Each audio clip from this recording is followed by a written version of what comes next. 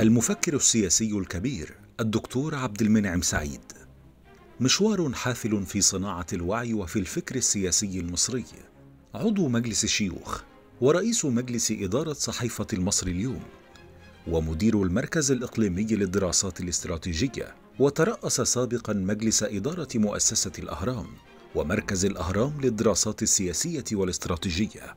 حصل على البكالوريوس من كلية الاقتصاد والعلوم السياسية. ثم على الماجستير والدكتوراه من جامعة إيلينوي الأمريكية. أسس معهد دول الخليج العربية في واشنطن وعمل في العديد من المراكز البحثية الدولية.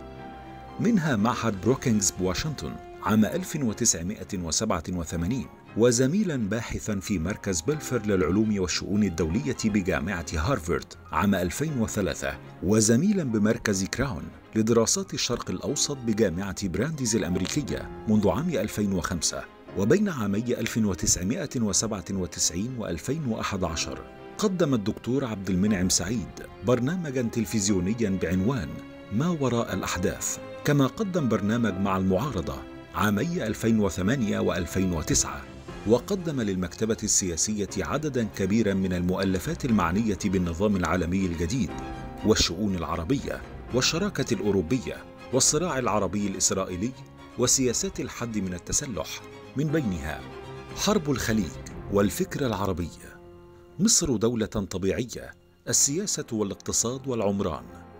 إصلاح الساسة الحزب الوطني والإخوان والليبراليون. ثمن الإصلاح أهمية التفكير الجاد في مستقبل مصر وأصوات المثقفين في ثورة 1919 الثورة والنخب والجماهير.